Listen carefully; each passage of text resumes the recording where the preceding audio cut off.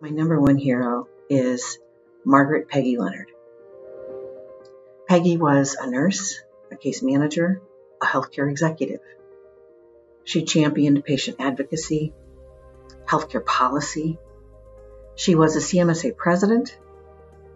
She was responsible for starting our public policy committee, led us to the Hill many years, taught us all how to be, how to talk to legislators, how to advocate for important policies, how to advocate for ourselves as case managers.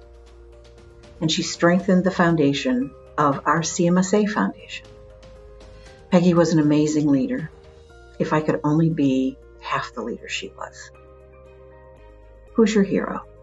Who's your case management hero?